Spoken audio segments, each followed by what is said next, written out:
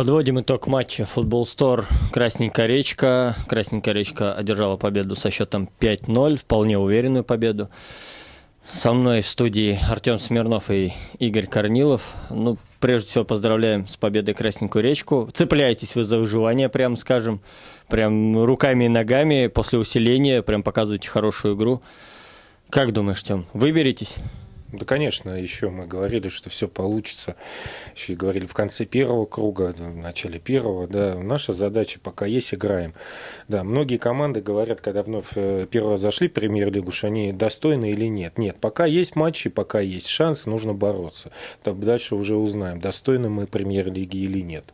Что если проводить работу, пытаться исправлять, под лежачий камень вода не течет, то все получится. Что скажешь по игре сегодня? Очень уверенно победили. Такое ощущение, что прям с гандикапом. Не, ну мы знали, что мы хотим сегодня. Мы были уверены в том, что мы должны игру эту взять. Мы знали, как мы должны эту игру взять. Да? Поэтому на каждом участке поля навязать борьбу, высокий прессинг, э, вот, равноценные замены, это и сыграло главную роль. Ну, конечно, это самое. Саша стал получать больше моментов, чтобы реализовать свои голы. Так что еще и можно с его спросить с того, что он это не забил сегодня. Но так все равно все хорошо. Игорь, футбол Стор, наоборот, все ниже и ниже в турнирной таблице.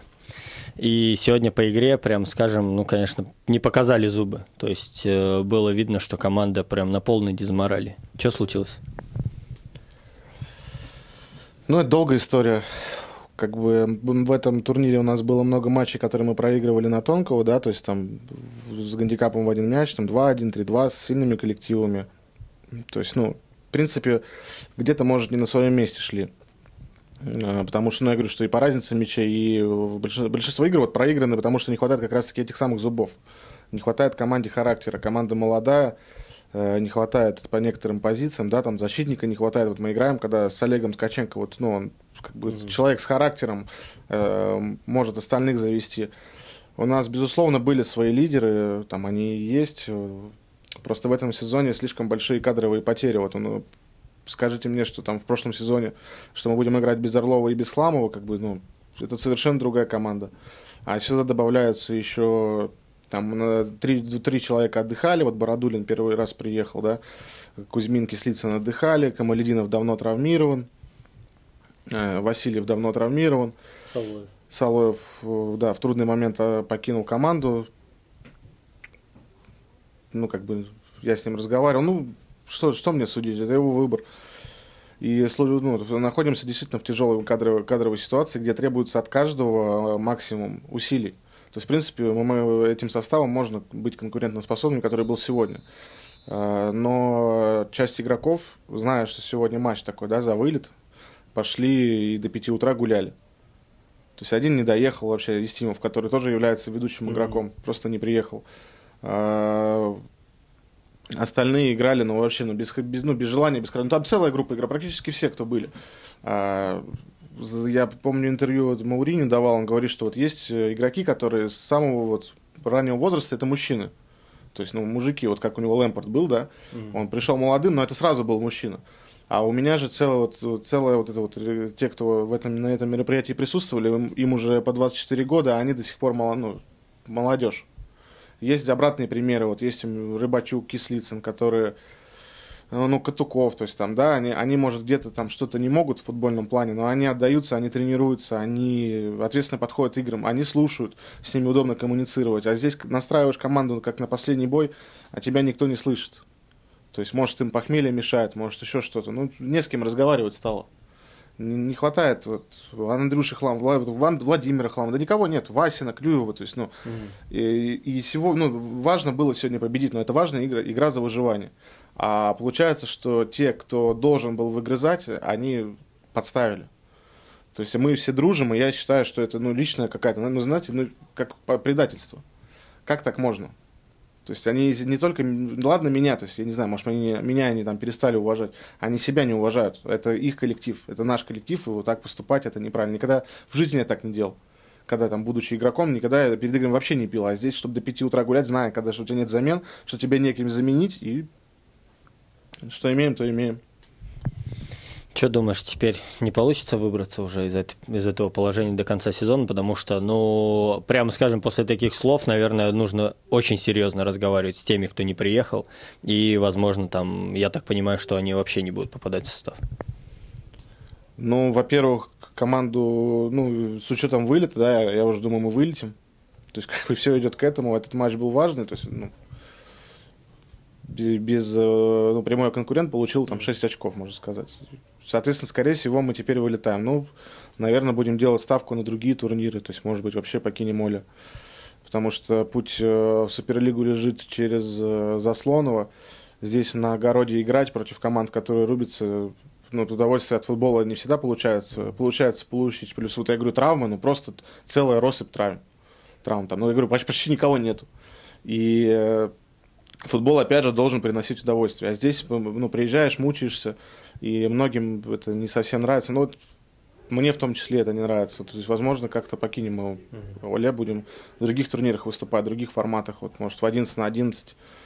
Там, посмотрим. Может, там оставим какую-то команду 8 на 8, там, в турнире ниже, но это уже будет команда знаете, таких, таких ветеранов. Не, ветеранов, то есть, может быть, вторую молодежи сделал. Ну, и по, ну, планы есть, команду не собираюсь, да, там распускать, но вот с людьми, которые вот в такой тяжелый момент, э, ну, так, так предают, ну, не хочется с ними дело иметь. Это просто несерьезно, и, ну, как с ними команду строить? Mm.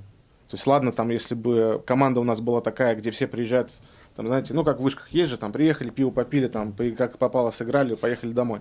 Нет, мы тренируемся, мы стараемся показывать результат, мы не хотим вылетать.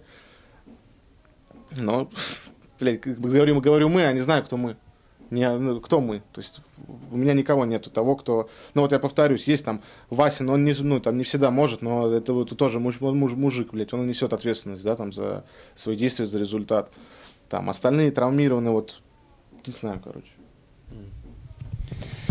Ну, у Красненькой речки все-таки все более позитивно, хотя тоже вот сейчас еще на грани вам, получается, нужно обыгрывать чуть ли не все коллективы, которые будут впереди. Но так как вы серьезно укрепились, в принципе, это уже возможно. И насколько вот Курбан Исмаиловы и Неродецкий да, добавили вам?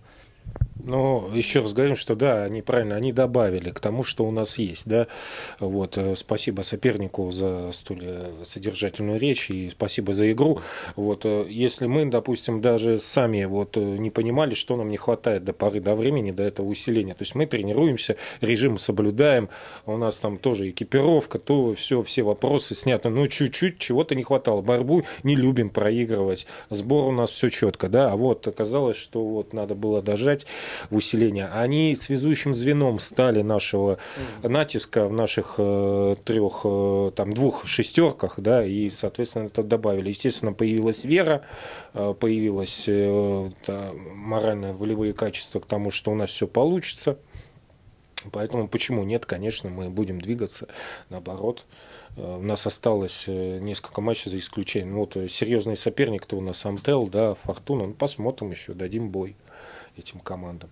А как удалось из Сейндропа целую плеяду игроков зацепить? А, ну, вообще, конечно, а, не то чтобы приятно. Я даже до последнего не знал, что они вместе играют. Я индивидуально с каждым общался, разговаривал, знакомился, да, то есть при каких обстоятельствах, говорит, такая-то команда, там-то играть вы можете, здесь, да, да, да. Сказали, ребята, будем до конца играть, стараться бороться до последнего. Сказали, что мы, да, поможем вам в любом случае.